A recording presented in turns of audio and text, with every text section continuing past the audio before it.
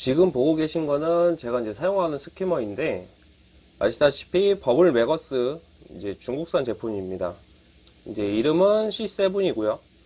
그리고 보시는 것처럼 제가 일단은 조금 웨트하게 돌려놨는데 거품을 보시면은 아시겠지만 균일하게 올라오진 않습니다.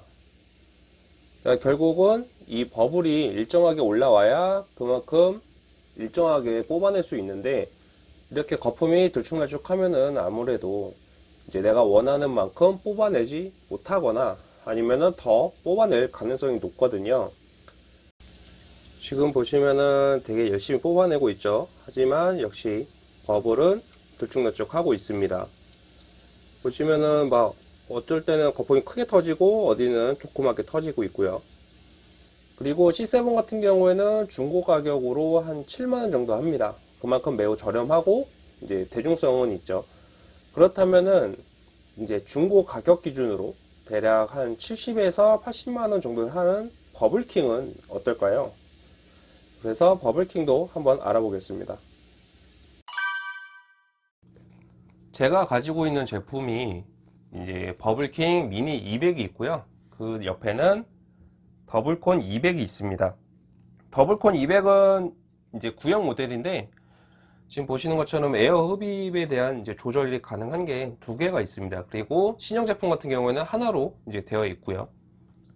그리고 미니 200이 좀 더 비쌉니다. 근데 웃긴 거는 단순히 말이 미니지 미니라고 해서 사이즈가 작은 건 아니고요.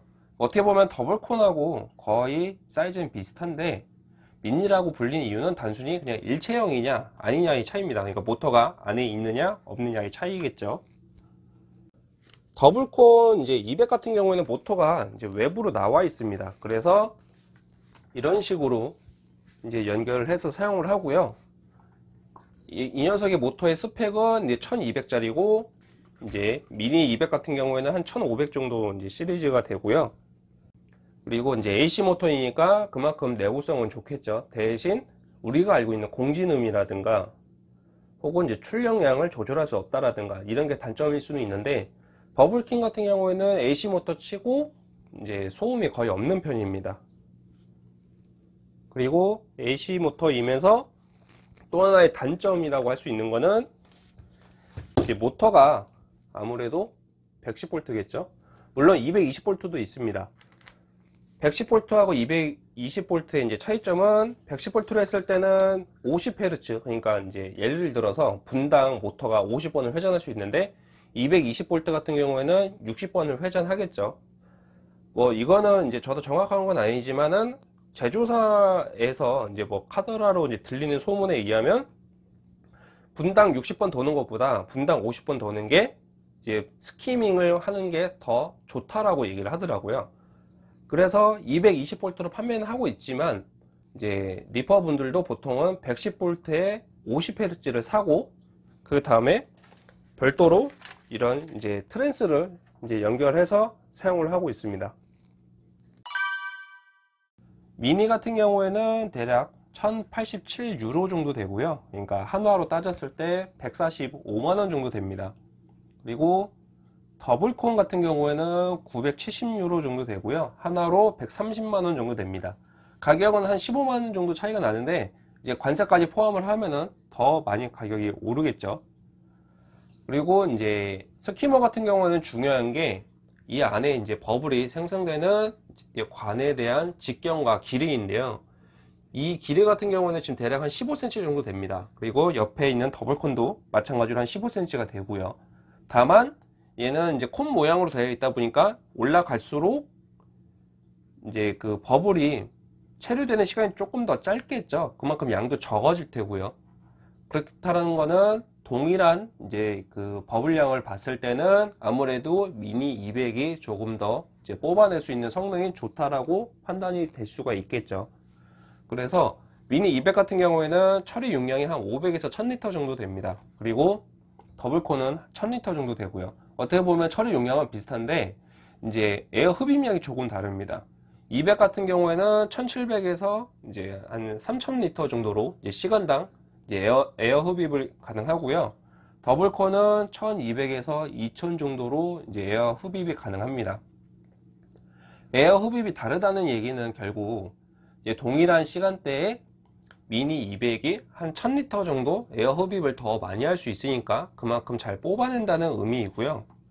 버블 크기는 버블 크기가 작고 개수가 많으면 상대적으로 버블 크기가 크고 개수가 적은 것에 비해 표면 장력이 많아져 그만큼 유기물 제거가 빠르게 됩니다.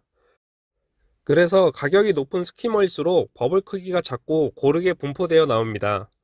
반대로 가격이 저렴할수록 버블 크기가 크거나 일정하지 않아 유기물 제거가 들쭉날쭉해지는 경우가 많습니다. 그러면은 이번에는 이제 실험을 해볼 게 미니 200으로 실험을 할 거고요. 왜냐하면 더블콘 같은 경우에는 저희 집에 이 더블콘을 넣을 수 있는 이제 사이즈의 어항이 없더라고요. 그래서 이 녀석으로는 조금 테스트하기는 좀 어려워서 일단 미니 200으로 한번 테스트를 해볼게요. 환수하고 이제 나온 물을 이제 어항에 담았고요. 이 어항 사이즈는 35cm입니다. 그러니까 35큐브겠죠. 그리고 200 같은 경우에는 이제 그 밑에 있는 받침대 길이가 이제 가로 세로로 봤을 때 22cm 정도 돼요. 그러니까 어항이 엄- 이것도 이제 skimmer가 엄청 큰 거죠. 그리고 Bubble King 같은 경우에는 조금 다른 게 collection cup이 분리가 됩니다. 그러니까 뚜껑이랑 우리가 알고 있는 이렇게만 분리가 되는 걸로 알고 있는데 이 녀석은 이렇게도 분리가 돼요. 그래서 청소하기가 되게 용이하죠. 자, 그러면은 이 상태로 두고 한번 가동을 해 볼게요. 얼마나 잘 나오는지.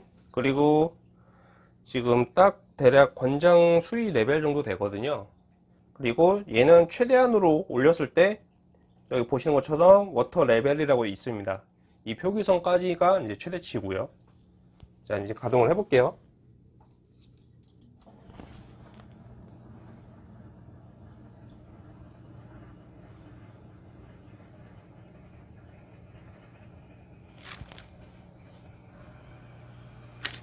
자, 지금 보시면 버블 크기가 어떠세요? 제가 지금 되게 출수량을 많이 해놔서 그렇긴 한데 일단 좀 줄여서 볼게요. 자, 보시면 버블이 되게 이제 그 마치 맥주 회사에 있는 것처럼 되게 크리미하게 나오죠. 자, 지금은 이제 넘쳐 흐르고 있긴 한데 그만큼 뽑아낼 게 많다는 의미입니다. 그에 비해서 아까 보여드린 버블 메거스 같은 경우에는 잘 뽑질 못하죠. 그리고 또 하나 다른 점은 버블킹 같은 경우에는 어떤 약품을 투입했다고 해서 이제 예민하게 반응하진 않습니다. 그만큼 이제 안정성이 확보가 된다는 의미겠죠.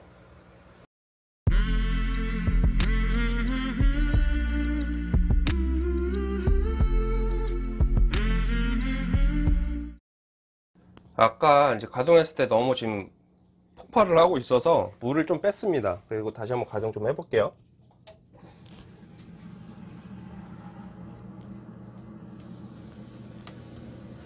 자, 지금 보시면은 조금씩 올라오죠.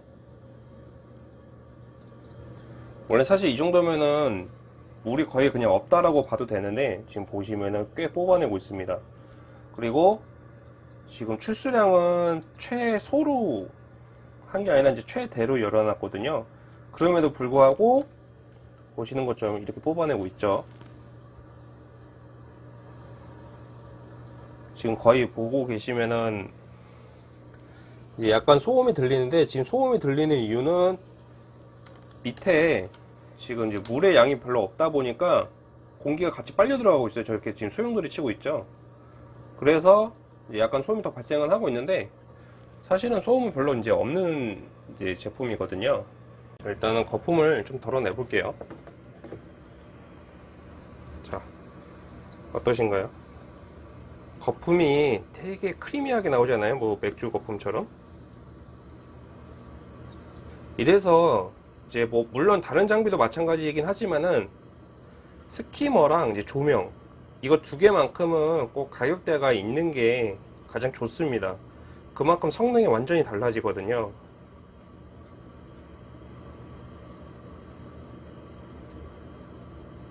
자, 차이가 많이 나죠. 그래서 스키머는 무조건 빨간 기둥, 빨간 기둥을 사는 게 최고입니다. 그만큼. 더블콘 200도 일단은 꾸겨 넣어서 한- 넣어봤는데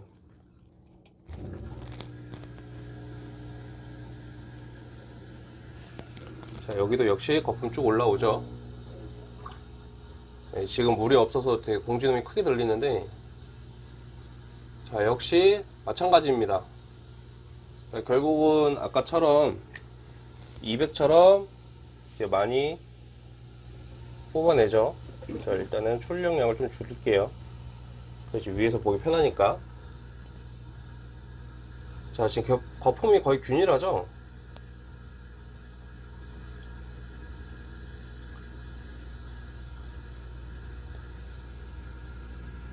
자 지금 밑에 있는 거품도 보시면 되게 크리미하게 잘 뽑히고 있습니다